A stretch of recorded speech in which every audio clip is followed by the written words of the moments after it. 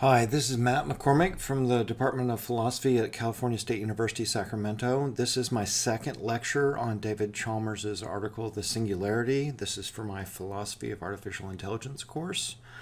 Um, and I wanted to get to this part of Chalmers' article because deep buried at the end of this thing, he's got this really interesting discussion of uploading your consciousness and we got to think about that for um, our range of ideas for the semester. So uh, to start our, where we are, sort of halfway through the article, is that Chalmers has made this argument for um, you know a pretty good case that, um, or we get some good evidence for thinking that uh, an AI superintelligence is coming. So if that's right, and he thinks that you know with a bunch of provisos a bunch of conditions that could happen then where do we fit? What do we do? How do humans get integrated into a post singularity world?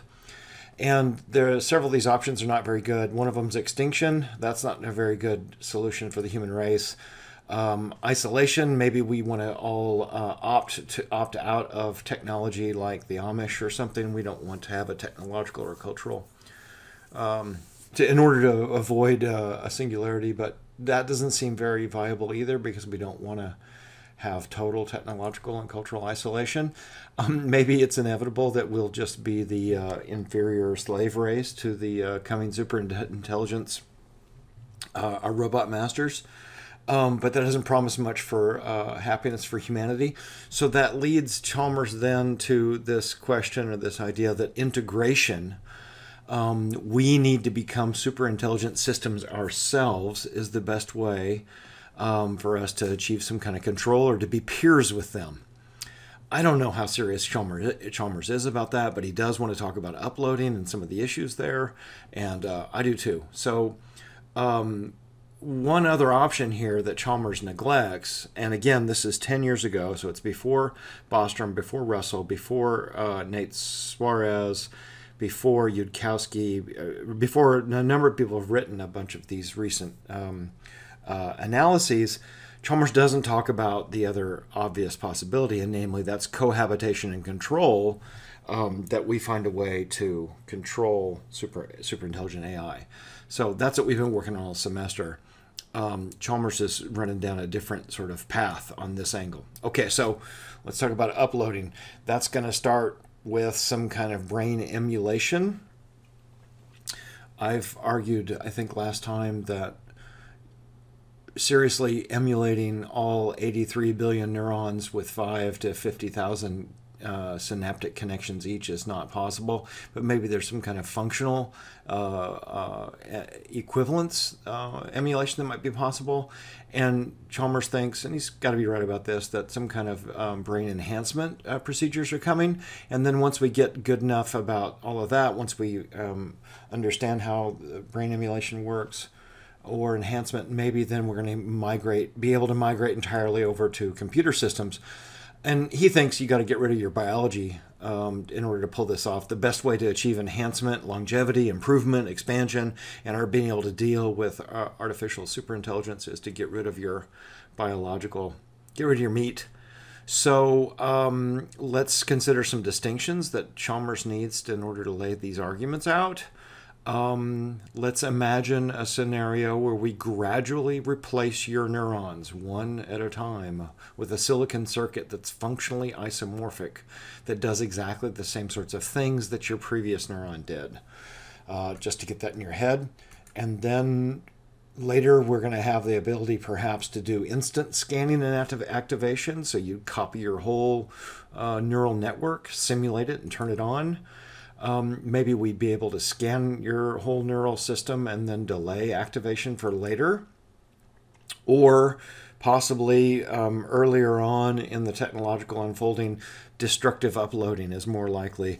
The process, the actual process we end up using um, uh, to uh, map all of the neural connections in the brain uh, ends up destroying the brain in the process. Uh, so maybe you don't want to sign up for that or uh, maybe we can find some non-destructive uploading options that would leave your brain and your consciousness intact and create a new one in the new system, the new simulation, or in the new uh, robot body. And finally, we got we might have uh, reconstructive uploading options where we use the information and then rebuild uh, you later from what you had before. Okay, so to, in order to talk about these options and consider these arguments that Chalmers has got laid out, we need a little bit of philosophy of mind. So we need to consider some theories of consciousness, and Chalmers is a good person to talk to on this. So somebody might have he lays out the range of views here. Somebody might have a strongly biological view about consciousness that only um, the consciousness can only inhabit a biological, uh, you know, meat system. Uh, but more commonly in the 20th century, um, when Chalmers got trained in the 21st century, people are functionalists of some sort. Um, and functionalists think that it's the causal structure and the role of the parts of the cognitive system that matter. So non biological systems could be, in principle, could be conscious as long as they're organized correctly. So there's a long, interesting debate here in philosophy of mind in the 20th century about just what sort of system uh, could be conscious. And there's a uh, there's a sort of this ontological neutrality uh, debate over what what kind of system consciousness could be instantiated in. So uh, Chalmers is going to side more or less here with the functionalist, although there's a lot of details in the background. And then we've been talking about connectionism. So connectionism is a variety of functionalism. Um, Chalmers doesn't talk about it in the article, but we've raised this possibility of your connectome, which is the complete map of all the neural connections of your system. So that's a way to think about capturing maybe what's important. You know, if we're a functionalist, then we're trying to figure out where the causal structures or causal connections and what are the modules that that um, uh, play the roles that end up producing consciousness. And if you're a connectionist, you think, well, it, it boils down to capturing the neural connections down there at the uh, dendritic level. Uh, you know, and finally, more a little bit more historically, of course, there's dualists out there who think that your immaterial soul is distinct from your body, and Chalmers doesn't even give, give this view any consideration at all. Um, and he wants got a bunch of sort of speculative thought experiments here for us to think about. So here's one: um, if we were to map your full connectome, and then and all the pattern of fire patterns of firing from your system to a computer and then we ran that in a simulation what would happen what would what would that be like would there be anything it's like to be in there to be that system uh, so that's the first of sort of these sort of uh, fanciful uh, uh, uh global skepticism scenarios that Chalmers is worried about. Okay, so let's consider this option. He's going to get a lot of mileage out of this.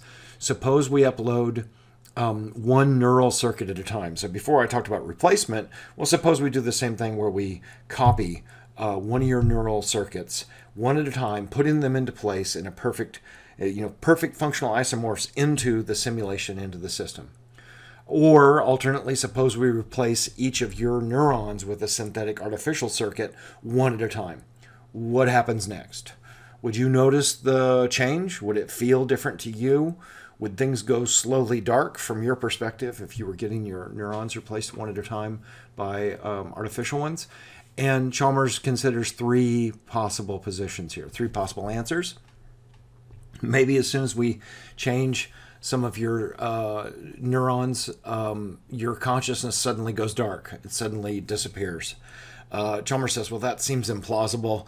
Uh, he doesn't make this point, but I will. Uh, you know, there's brain damage cases where people, well, I don't know, a heavy night of drinking does more than that, wipes out more neurons, and we don't think your consciousness goes dark from that.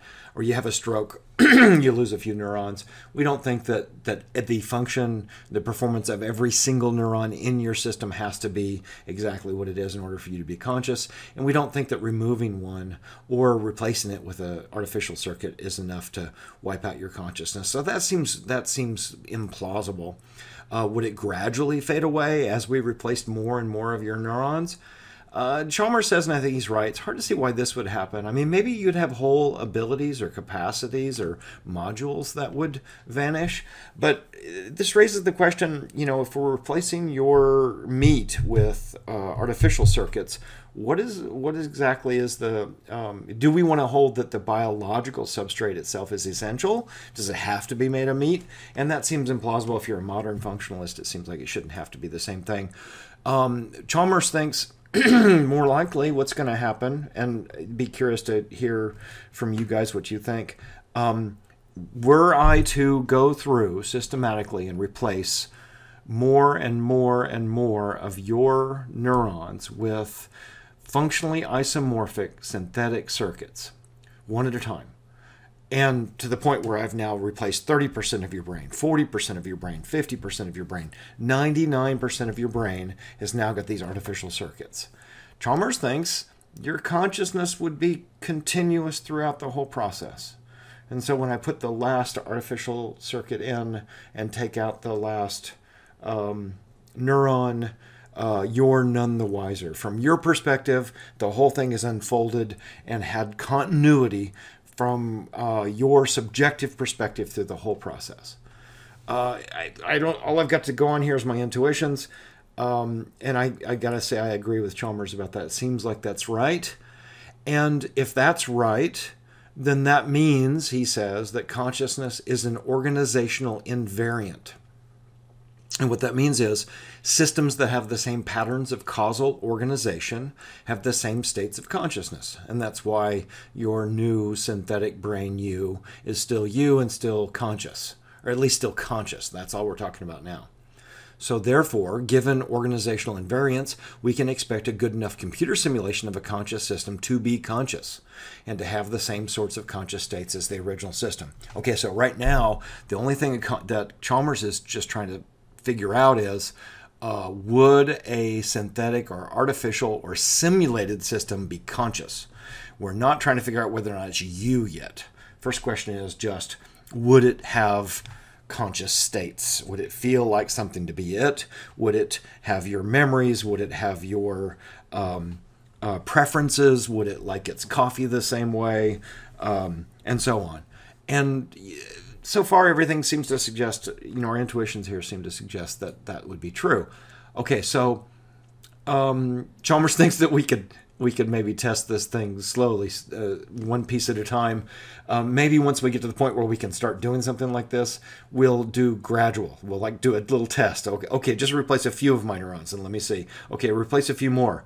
Uh, or maybe you'll get your uh, get your friend to do it and you can watch them and see what happens to them uh, okay, so that establishes, he thinks, the question about whether or not a system would be conscious. So it's all really speculative. It's all like highly, you know, fanciful.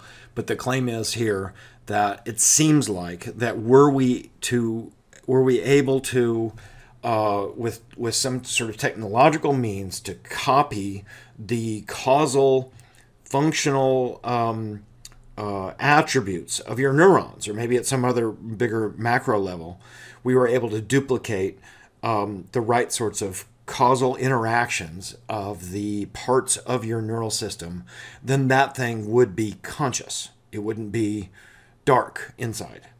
Um, now the question becomes is it you? Is the new system that we've replaced actually the same as you? Um, that is, we think that the the you who made a cup of coffee this morning and drank it, and the you that's listening to this now are the same person. So there's a question about personal identity or numerical identity that philosophers have been worrying about for centuries, right? Um, you, you can see Leibniz talking about this. You see it go all the way back to the ancient Greeks. Um, so if you were uploaded and the new system is conscious, is that your consciousness, or is it just a very similar um, conscious system to you, or just another conscious system that has the same cognitive causal patterns as you. Um, that is, would you survive?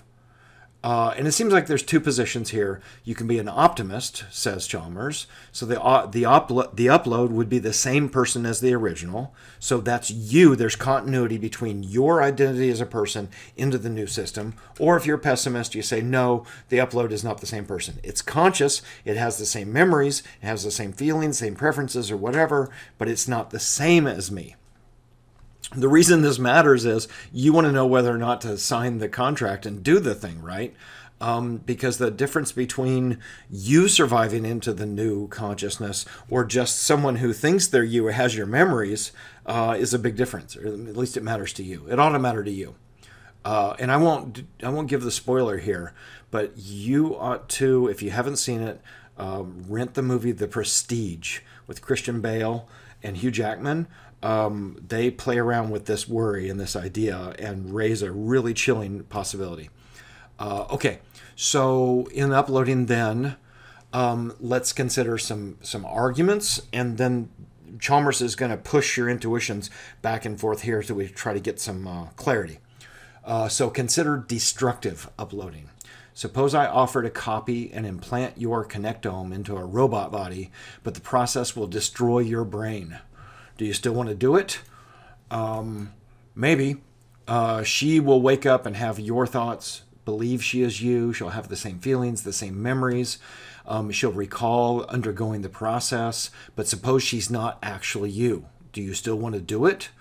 She will live for 200 more years and she'll be glad that you did it. But she is as different from you as I am with regard to personal identity, and now you're dead because this destroyed you in the process. That's the question. Uh, that is, uh, these two beings are qualitatively identical. They have the same properties, but they're not numerically identical. Um, that is, they're not the same in one, the one and the same individual. And Chalmers has got a way to clarify this and make bring out the uh, the point a little more clearly. Okay, so uh, the question now is: Under what circumstances does a person, uh, the identical person, persist over time? Um, the extremely conservative position here might be to say, well, you have to have exactly the same matter that remains over time, or the person doesn't survive. And Chalmers doesn't, you know, grant that any credence. He doesn't think that that's a plausible position. Nobody holds that view. You can't possibly hold that view because your matter changes all the time. Um, uh, and then in contrast, there's the extremely extremely liberal position that says something like merely having the same sort of conscious states is enough for you to survive. Well, I'm not entirely sure that's right either. So we've got to figure out the options here. And then the chart here maps the different sorts of positions. So if you're an optimist about survival and you undergo a destructive uploading process, then you survive.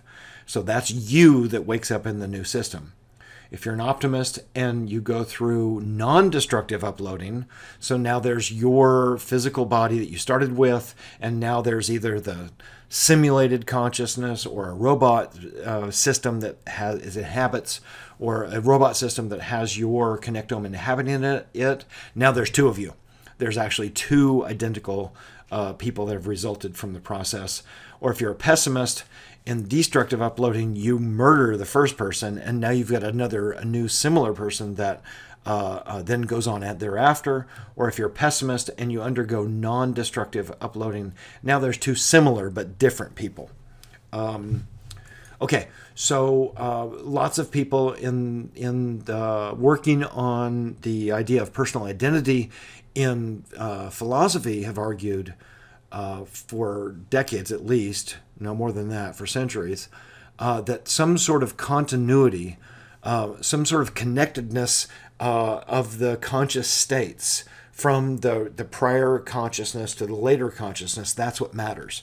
Because your physical matter changes over the course of your life, but you know this goes back even to Locke that there's some kind of continuity of, of ideas, of thoughts, of, uh, of preferences, of belief structure, of something, you know, what makes you the same we say of you that you're the same person who was the five year old who went to kindergarten right? You know you see you trace some personal identity to that person even though there's been a radical difference in the physical um, configuration of the person. But you think of there being a psychological continuity between you and that person.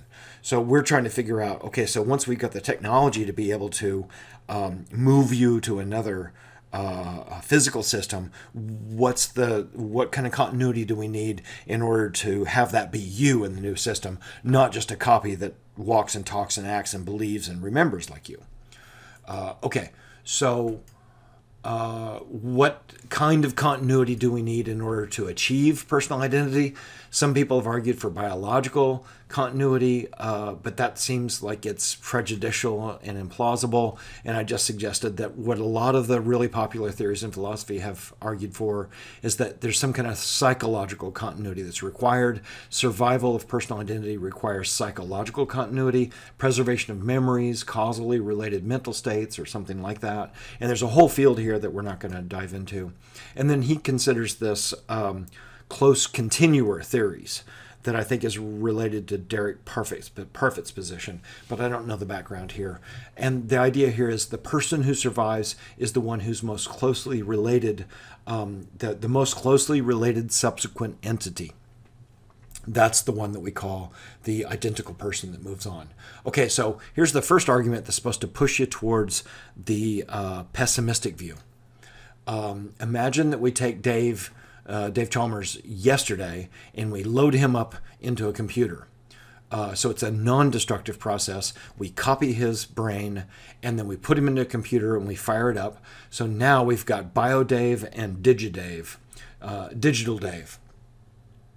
Okay, so BioDave, after the process, thinks naturally that he's the original. He's the the the continuous uh, Dave that started this whole thing, and as a result, we have a pretty strong intu- intuition here that Digital Dave doesn't have, for instance, any rights to any of yesterday Dave's stuff. He doesn't get his mortgage. He doesn't get his friends. He doesn't get to go out. He he's not married to Dave's wife. Um, it seems like BioDave has a special status here. We've created another one, but doesn't Bio Dave have the right to go back to yesterday Dave's house? um, and drive Dave's car? Isn't that his car? Isn't that the identical person who's persisted? Um, that seems to give us a pretty powerful uh, pessimistic uh, intuition here. Uh, that is, if we agree, then in the destructive uploading case, the new Dave is not Dave, but just a copy.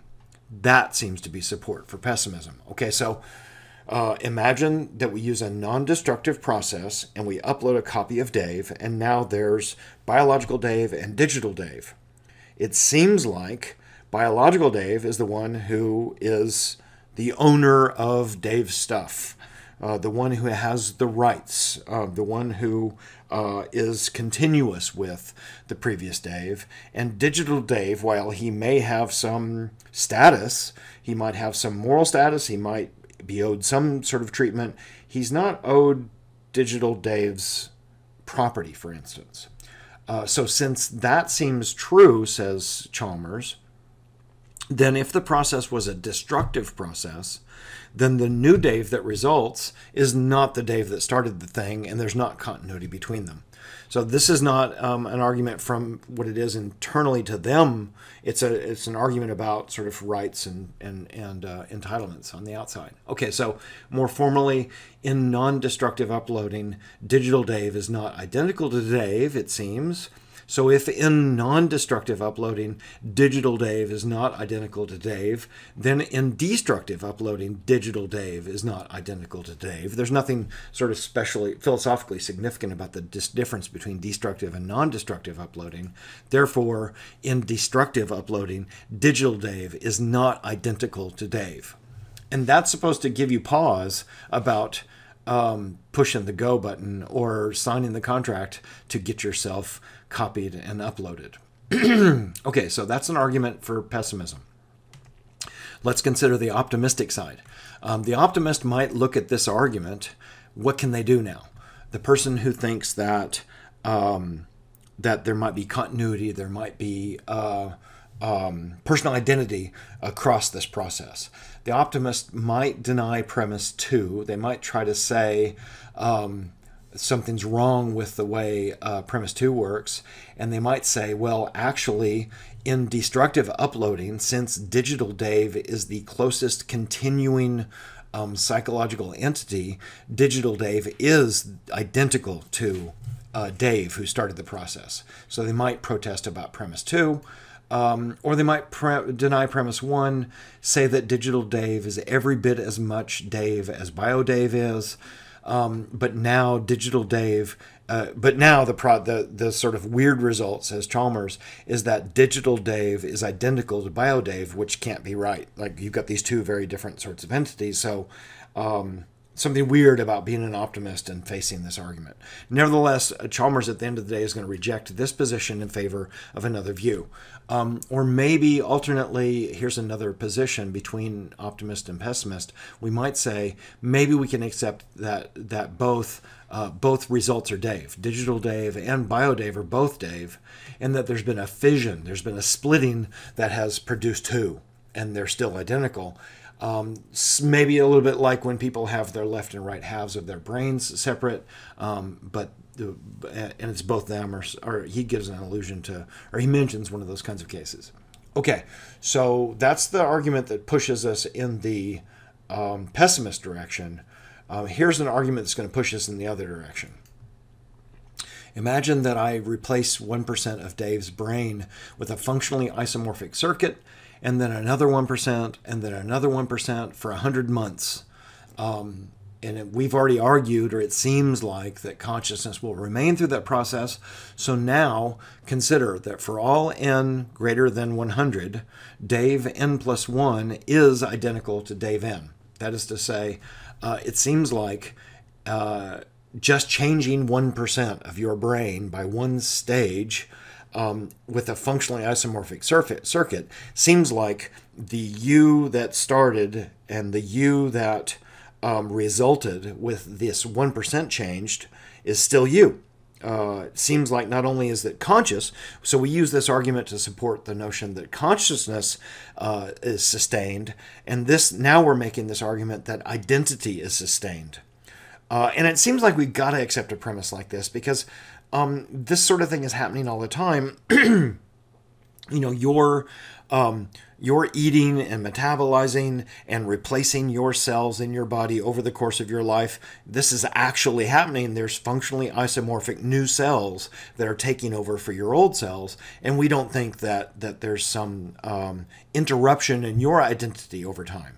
So it seems like for every at least tiny step from n plus one to n, that that the the u that um, results is identical to the u that started for the tiny step. Uh, so then, predictably, the next step is then for all of the steps, 1 through 100, if uh, Dave n plus 1 is identical to Dave n, then Dave 100 is going to be identical to Dave. Look, if we're taking a bunch of little steps, and if every step along the way, the second one is identical to the first, then by transitivity, if A is equal to B and B is equal to C, then A is equal to C. So that means that the Dave 100 is the same as the Dave that started.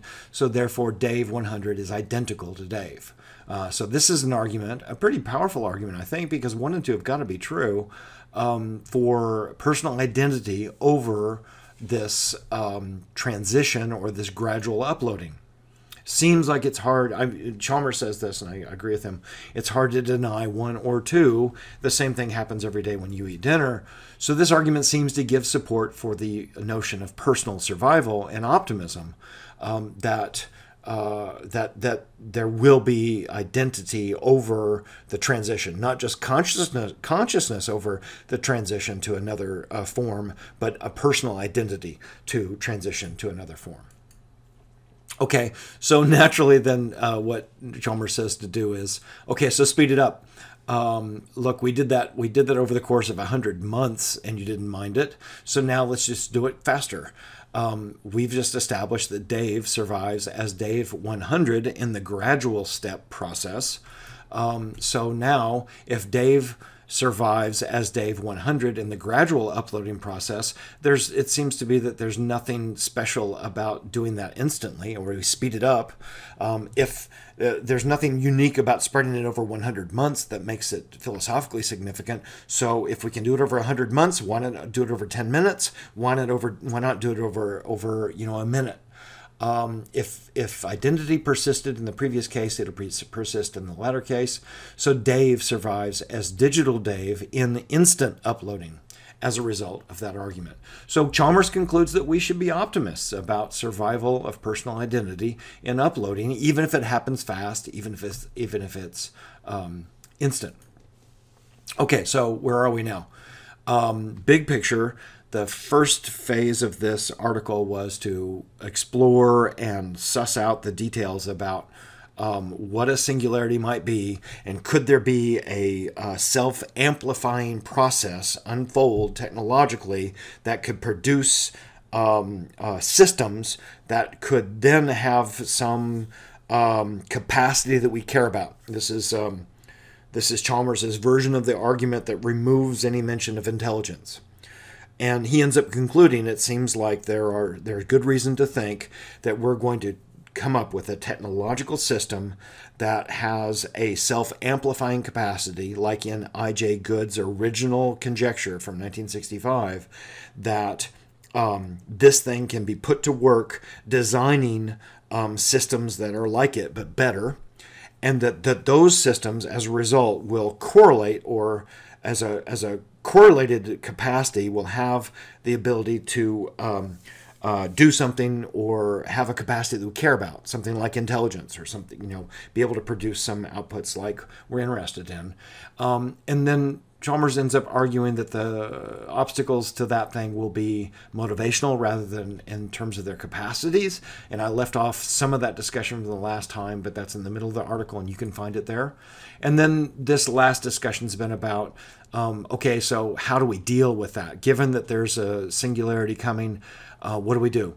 Well, um, we should uh, proceed very carefully by building appropriate values into machines and by building the first AI and AI plus systems in virtual worlds um, is part of what Chalmers argues for in that previous discussion.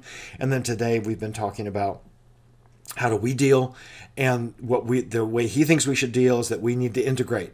We need to uh, transition over to, to synthetic or artificial forms ourselves and that by gradual uploading followed by enhancement if we're still around then or by reconstructive uploading by followed by enhancement if we're not um, we can deal with a singularity as a result